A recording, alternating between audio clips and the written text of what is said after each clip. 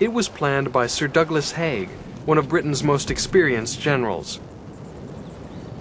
Using mainly British and Commonwealth troops, it aimed to relieve the pressure on Verdun by drawing away the German reserves and destroy them.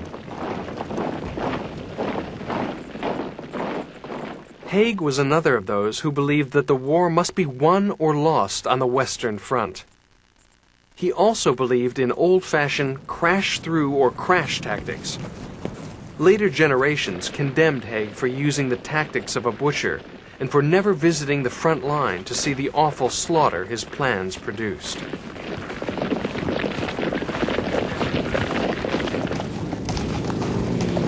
But Haig was just one of the many generals on all sides in this great war to whom plans had become more important than people.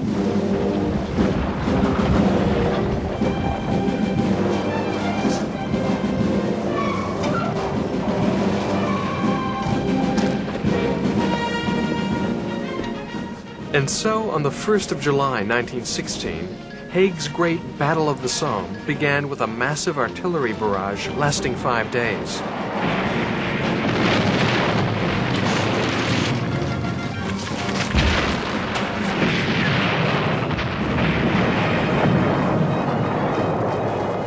The British thought nothing could survive that barrage, and one commander even ordered his men to advance in parade ground formation.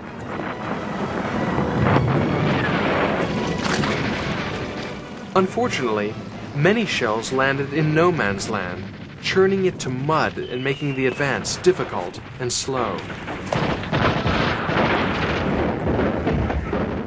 In addition, the Germans had survived the barrage in deep underground concrete shelters. As the attackers struggled towards them, German machine gunners rushed from their shelters, set up their weapons, and poured out a murderous fire.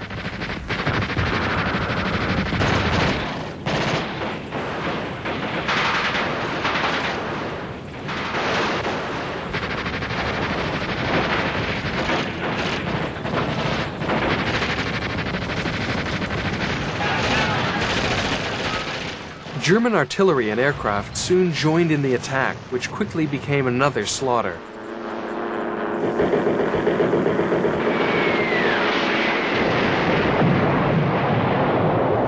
In fact, it became the worst slaughter ever suffered by the British Army in a single day.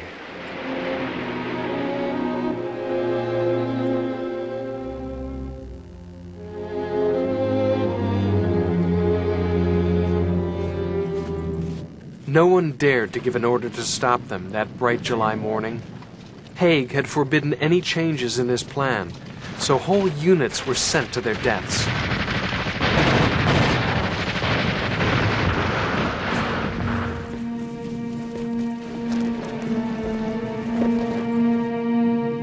Almost the entire Newfoundland regiment was wiped out before lunchtime on the first day,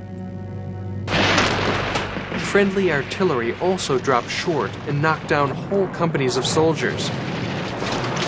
Others were sucked down and drowned in the mud.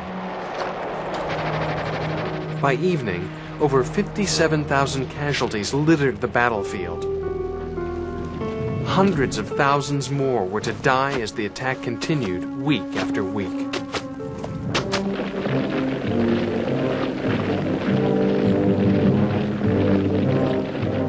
The Australians, newly arrived in France from the Middle East, were pushed into a diversionary attack and lost five and a half thousand men in one day. They would lose four times that number before the Somme battles ended.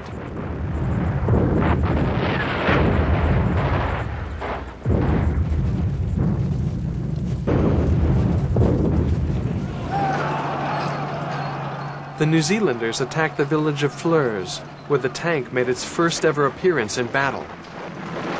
But despite the use of this secret weapon, the Kiwis suffered 6,000 casualties, a huge loss for a little nation.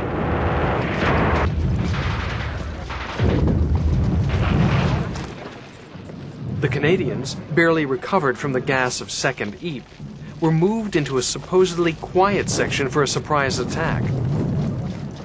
They lost two and a half thousand men before the attack even started. Before it ended, they would lose 24,000.